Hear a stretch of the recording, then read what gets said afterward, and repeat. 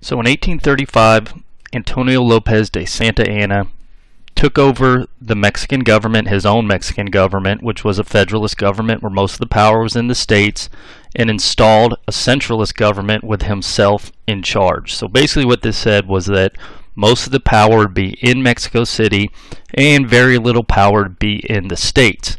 This is obviously going to upset a lot of Texans because for the past at least five years, but even going before that, Texans had been pushing for separate statehood from Coahuila. So they wanted to make sure that continued Anglo immigration, there have been limitations on that. They wanted to make sure that uh, we can reinstate slavery, get uh, further immigration of slaves. Uh, but as we had talked about, with Santa Anna taking over and putting the authority in Mexico City, this made statehood irrelevant. Essentially, even if Texas became its own state, it wouldn't matter because Santa Anna could override anything the state government came up with. So this is obviously going to upset a number of Texans in 1835. We've already had issues between the American Texans and the Mexican government. And so what you're going to see in late 1835 is a lot of discussions throughout Texas. So we've got these various colonies of these Americans throughout here they're going to have to decide how should we react to uh, Santa Anna taking over and centralizing authority around himself. Well, there's going to be debates in all the various uh, colonial houses, you know, in San Felipe de Austin, Gonzales, a number of these uh, newer cities that had just popped up in Texas. And you're going to have people debating what should we do? How should we react to the centralization of authority? Well, there's going to be some in Texas after Santa Anna's takeover that we're going to call the Peace Party. So these Peace Party uh, group, what they're going to argue is that we don't need to be fighting anybody. This is just another blip on the radar. What'll happen very soon is what's happened previously uh, when Mexican government has been overthrown. Somebody's going to come along and overthrow them again. So we saw it uh, initially when Mexico got independence, overthrew Spain, installed a centralist government under Iturbide. Iturbide was then overthrown, federalist government put in place under the Constitution of 1824.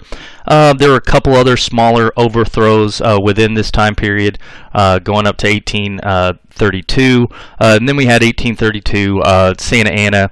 In 1833, Santa Anna is going to lead a federalist revolt, overthrow the government, and then soon thereafter he's going to overthrow his own government and install a centralist government. So this peace party basically there's no need to fight anything, just wait. I'm sure a federalist government, uh, federalist politicians in Mexico City will overthrow Santa Anna. Then we can apply for statehood. So once they start fighting, we'll start fighting too. And then uh, even if that we not, might not even need to fight, and then once the federalist government comes in place, we'll get statehood and everything will be fine. So there's a good chunk of Texans, and this is particularly the very uh, the people that have been there for a very long time, don't want to lose their plantations and everything they'd built up to, to this point. They're going to say, let's not do anything. Let's um, let's wait until Santa Anna is overthrown. There's going to be a sizable chunk of Texas, and this is going to be both Tejanos and uh, some of the Americans who are going to say we need to go to war. And you're going to hear this called the War Party. So the War Party says we need to actively fight Santa Anna's government. This is uh, oppressive. You know, the centralist government isn't what we uh, uh, type of government we can live under. And so some people are going to advocate for fighting. But the thing is, there's going to be divisions within this war party. So Peace Party basically says, let's wait this out, let's hold out, not no fighting. War Party says, let's fight Santa Anna but the goal for this war party will be different from one group to the next. So some long-term residents and the Tejano residents of Texas predominantly are going to call for, uh, those who are calling for war are going to say, we want to fight Santa Anna's government, but we want to fight for restoration of the Constitution of 1824 this Federalist Constitution. So when Santa Anna had taken over, he'd gotten rid of the Constitution of 1824 again, which was a Federalist Constitution, put the power in the states, and installed authority around himself. So some Texans, and again, particularly the Tejanos, say we should remain under Mexico. We're um, Mexican. This is uh, we, we declared loyalty to the Mexican government. We should still be Mexican, but we should fight for the Constitution of 1824 and separate statehood.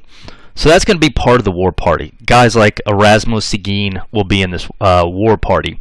Others in Texas uh, will. This is going to be particularly a lot of these new arrivals, people that had only showed up in the past couple years, a lot of people that had showed up illegally without colonization contracts, had not bothered to become Catholic, learn Spanish, anything like that. They're going to call for fighting against Mexico, fighting against Santa Anna's government, but instead of fighting to stay in Mexico in a restoration of the Constitution of 1824, they'll want to fight for independence, to break away from Mexico, either to break away from Mexico to become an independent state, an independent nation, maybe a Republic of Texas, or for independence and then to join with the United States. And this is going to be particularly true of those new new arrivals. Tejanos, um, they're not going to be uh, particularly happy about that group calling for independence. A lot of the old timers had learned to live under uh, Mexico, and they think they they can stay under Mexico. So the general sentiment in Texas is going to be again 1835. It's going to vary, and we're going to see it go one direction towards the end of 1835. But uh, the prevailing sentiment will be that we need to fight Santa Anna. We need to actively fight them.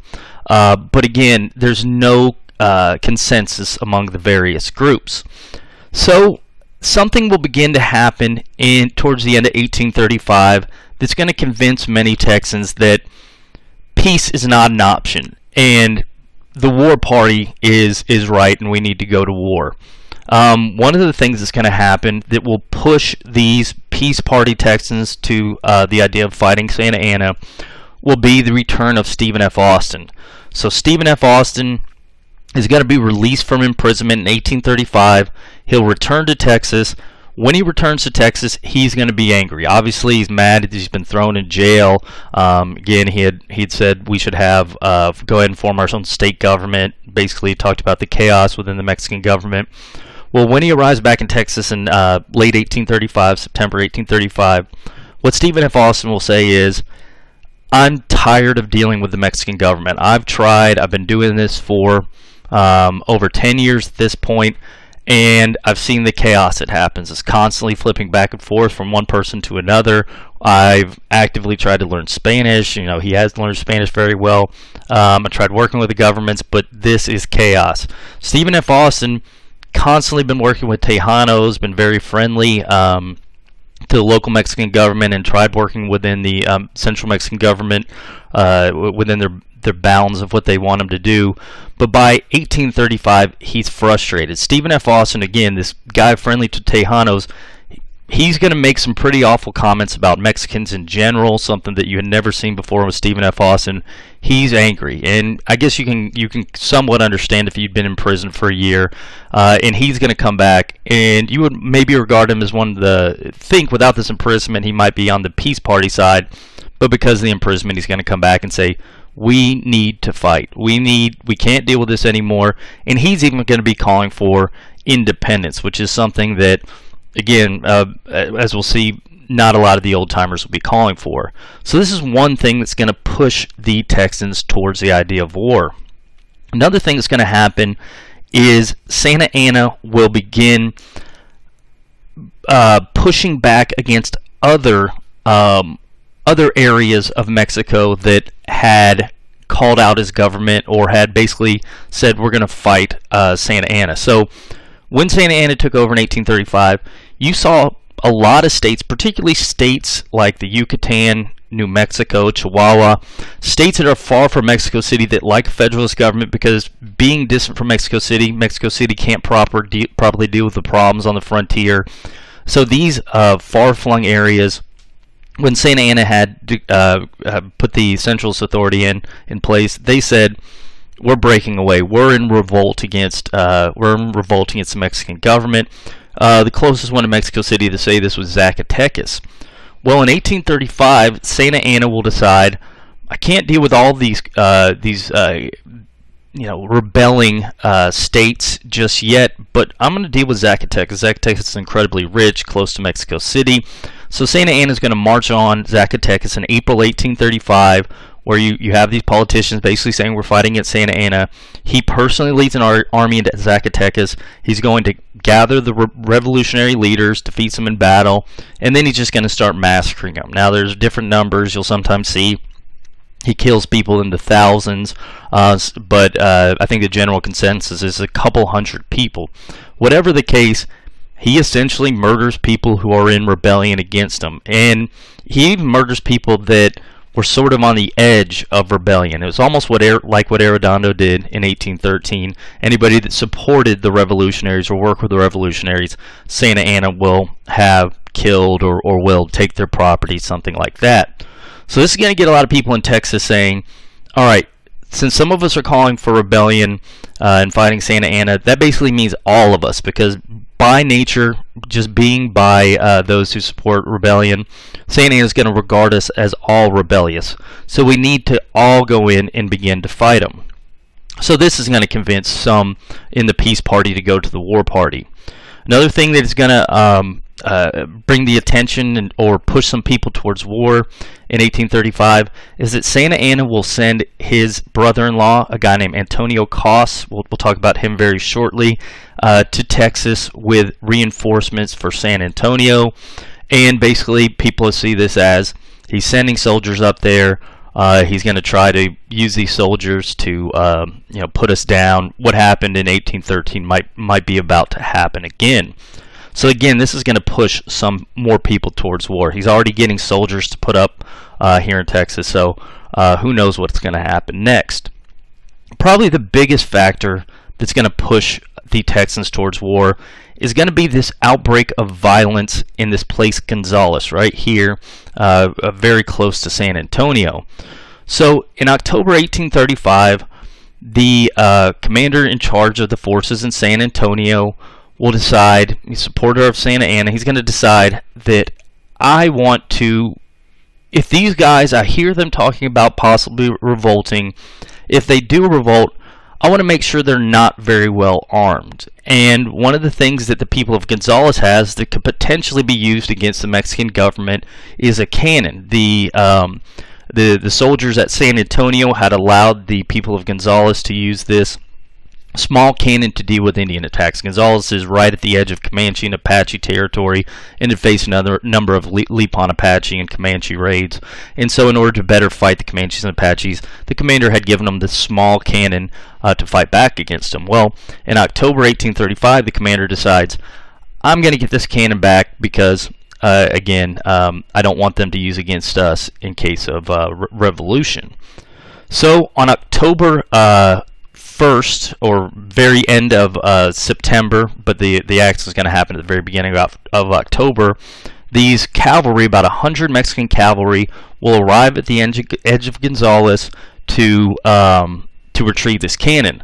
Well, unfortunately for them, there's a they have to cross the uh, Guadalupe River to get to Gonzales. But at the time, the Guadalupe happens to be uh, a lot of rain. It's overflowing, and they can't cross until the next day.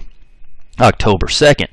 So the people of Gonzales, they see these Mexican soldiers camping on the other side of the river, and they're going to determine, all right, what do we do? They got these soldiers coming to us. Should we give back this cannon?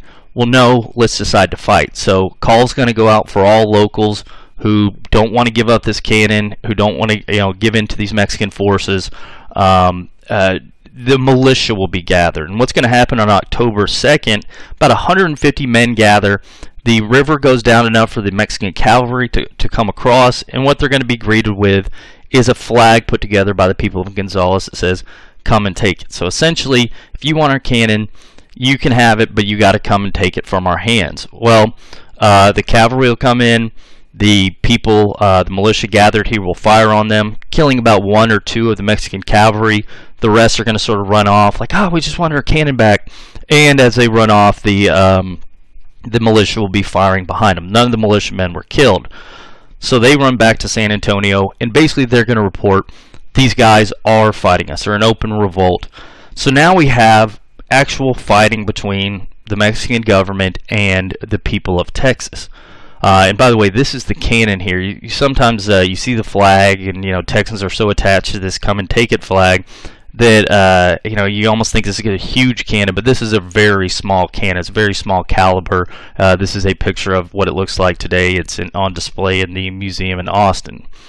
All right, so now we have fighting between Mexican forces and uh, the citizens of Texas. Stephen F. Austin's calling for war, and again, um, uh, Santa Anna has just violently put down the rebellion in Zacatecas. Well, this is going to get all the prominent leaders in Texas to decide in November 1835 we need to do something. So imagine letters being written between Stephen F. Austin's colonies, Green DeWitt's colonies, all these various colonies. They'll say, hey, send your prominent officials, send all the prominent men, the most successful men, the people that are going to speak for you. We need to figure out what we got to do. Well, this meeting is going to take place on November 1st, 1835. You'll hear it sometimes referred to as the Consultation of 1835 they're going to discuss the latest developments, fighting with Gonzales, Zacatecas, things like that. And they're going to say, what do we do? We need to settle this once for all. We're going to go for peace. If we're going to go for war, are we going to go for war to fight to stay in Mexico, fight against Santa Anna for a federalist government, or are we going to fight for independence? Again, the arguments will go back and forth. You know, handful of people are still going to be for peace, but they're in a vast minority by now most people are going to be arguing about whether to fight for independence or fight to stay within Mexico. Well, consultation of 1835 will determine we are going to fight and we're going to fight to stay in Mexico. So they will determine we're fighting not for independence but for return to the Constitution of 1824 and separate statehood for Texas. So we're still going to be loyal to Mexico, which is we want to be under a federalist government.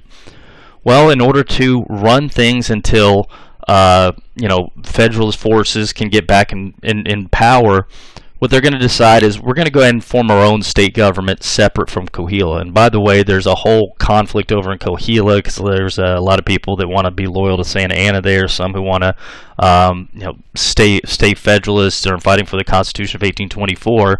So the Texans say, you know, forget any prospect of even working with the Coahuila Texas government we're going to form our own state government. So they write up essentially a very quick state constitution and you can tell it's really quick. It's it's very dysfunctional. There's no separation of power between the executive and legislative branches.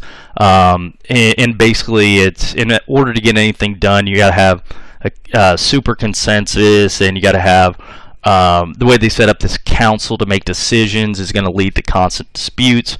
And so they uh, formed this just backwards state government. Uh, the guy that's going to be in charge of this state government, again, it's an unofficial state government, does not you know, have Mexico's approval, certainly not Santa Anna's approval. Uh, the guy that's going to be in charge of it is this Henry Smith guy. All right, so we got this consultation. We're forming the state government. Henry Smith, you're now in charge of it.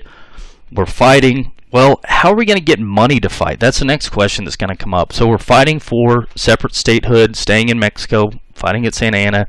How do we get uh, money to fight them? Because we're going to need firearms. We might need uh, a standing army. We'll talk about that in a second. All this requires money. You need to pay soldiers. You need to pay for cannons, ammunition, uh gunpowder, stuff like that. One of the things they're going to do is decide to send Stephen F. Austin to the U.S. All right, Stephen, go out there. What you, what you we want you to do is go to wealthy individuals, you, you know, people in New Orleans, places like that, ask them to borrow money. You know, maybe sell land in Texas if it requires it. We need cash to pay soldiers. So Stephen F. Austin will set off towards the United States. Um, um, uh, we'll, we'll, talk about him coming back in a second, but uh, he, he will be off for a little bit to gather money. Um, now, the, the rest of the consultation, they're going to start writing back to their locations in Texas. So, you know, you over here, you over here. Um, start forming militias because we're preparing to fight. So we'll see letters go out from the consultation where people tell their people to start arming themselves because we're going to be fighting against Santa Anna's government. Next thing the consultation of 1835 will do is decide to form a, uh, an, an army for Texas. So if Santa Anna comes, militias are great.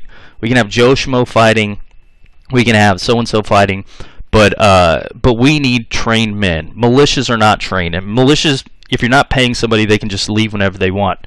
You want something where you put somebody's name on contract. They have to stay as a part of the army for a long time, and they have to put up with the BS that comes with the military. They got to, um, you know, basically trained. They got to stand together. They've got to do the things again that militia, just guys that grab their gun and get off the couch, are not willing to do.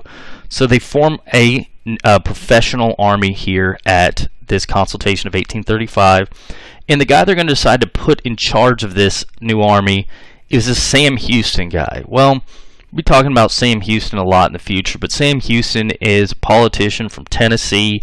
Um, he had experience in the War of 1812. He'd fought in the Creek War uh, under Andrew Jackson. Uh, Andrew Jackson became a prominent politician, eventually president of the United States. Houston had had disagreements with Jackson in the past, but was pretty close to, to Jackson, which is a lot of people point out maybe one of the reasons that they're picking Sam Houston. Maybe you can get some U.S. military help. Jackson's president of the United States at the time.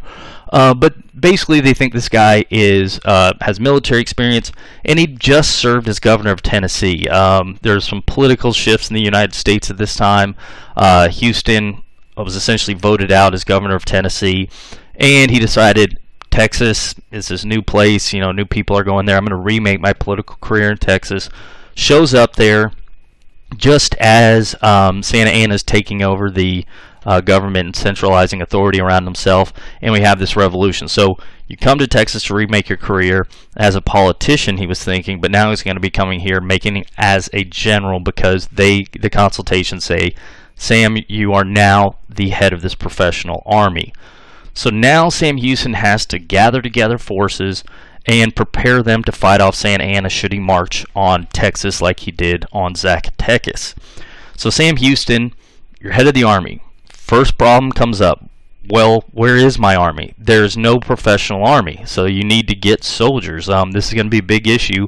Well, where's my money? Well, Stephen F. Austin, he's riding people into the United States. He's prepping for a trip to the U.S.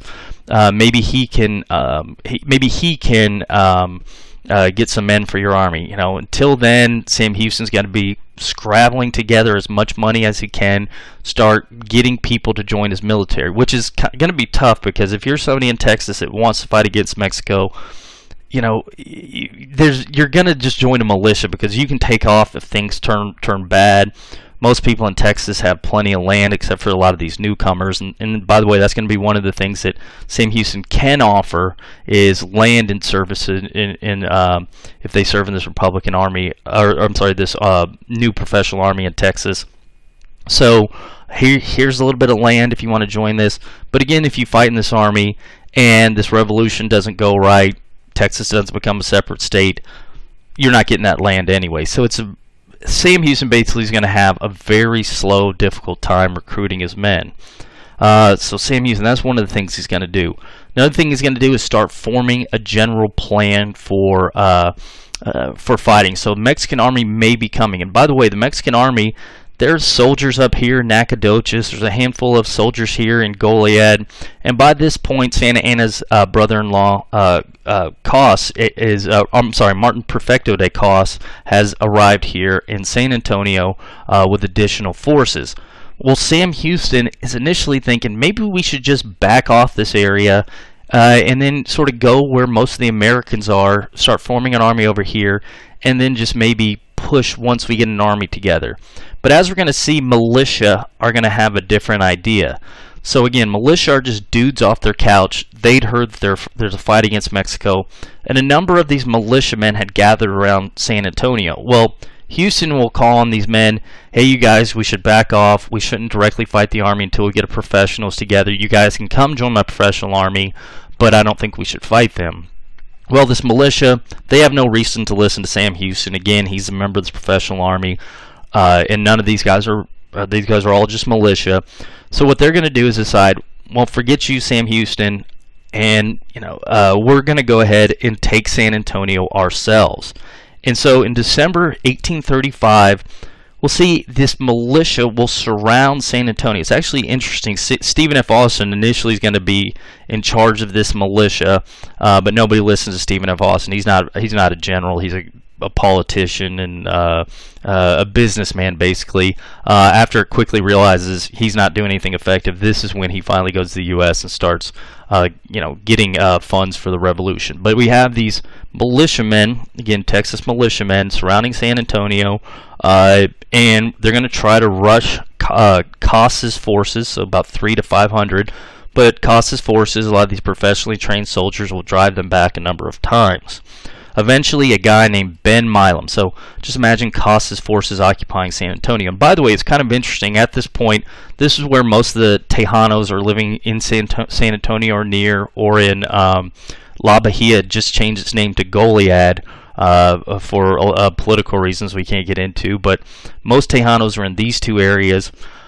They're in kind of a weird place. Again, most uh, Tejanos educated who understand the political situation um, are don't like Santa Anna, and they don't like the fact that his brother-in-law came in here, and, and they would like separate statehood. But at the same time, they're getting a little bit nervous about these Americans, and they're hearing this talk about independence. So th those in San Antonio, a lot of them are just sort of staying away from things. They're, it's almost like they remember back to what happened in 1813 and realize if we take sides, then whoever wins, we're going to get punished for it. So let's just sort of stand in the background. Uh, again, you do have a lot of Tejanos that are going to be supporting the fight against uh, uh, Santa Anna, um, guys like uh, Erasmo Seguin and his son Juan Seguin, but a lot of Tejanos are just sort of standing back. Well, now you have this uh, American Texan militia around here, and you have uh, uh, occupying San, uh, San, San Antonio with his forces. Well, after these uh, militias been driven back a couple times, a uh, guy named Ben Milam, he'd actually been one of the impresarios alongside uh, Stephen F. Austin. Uh, on December 5th, 1835, he's going to say, who's going to follow old Ben Milam into San Antonio and basically call on the militia, hey, forget them driving us back. We need to push forward. Let's get uh, these Mexican soldiers out of Texas. And Ben Milam and the Texans, here's General Cos, will rush General Cos's forces in San Antonio. When they do, uh, Ben Milam's promptly shot in the head and he dies, but the militia will end up taking Cos. They'll take him prisoner and they'll take the, the rest of the Mexican soldiers in San Antonio prisoner. At this point, after this uh, this battle, here's a painting of the battle. They're going to be rushing over things like that. Uh, they capture it December 5th, 1835. They're going to tell Cos, if you want to stay here, you've got to get out. You know, you have to take your soldiers. You have to march south of the Rio Grande River, and we want uh, you to leave Texas. Uh, so basically, go tell Santa Anna that Texas is now its own separate state, and we're fighting for the Constitution of 1824. Well, um, after this, Cos will promise not to return to Texas, and he and his soldiers will march out of San Antonio. Uh, and the militia will come in to occupy it. Uh, this uh, newspapers will start spreading the news of this throughout Texas. News will reach the United States, things like that. All right, so they've occupied uh, Texas, and it's interesting because just right before this, uh, we had seen American Texan forces attack uh, Nacogdoches and Goliad. Uh, this is where uh, the sizable portion of the Mexican soldiers who were loyal to Santa Anna, uh, this is where they were at. Uh, again, Nacogdoches and Goliad. Uh, there's not any major fighting in these areas. Just um, Americans surround the forts where the soldiers at, and they take them over. So what all this means is that by December 1835, going into January 1836, basically Texas is free of Mexican soldiers. Now, interesting, a couple soldiers defected to those fighting um, against Santa Anna, but those who are loyal to them are now out of here. So what's going to happen now? Does this mean we're now a separate state? You know, some people say, well, since we uh, pushed the government out, uh, maybe we should declare independence. And as we're going to see, a lot of problems will start to pop up. Uh, but fortunately, or at least for the uh, Texans think this is fortunate. They think, well, we've got time because it's winter and people don't generally campaign during the winter, so we can figure out what direction we're taking this thing. We have a couple months before Santa Anna can get up here, but as we're going to see, that is not going to be the case.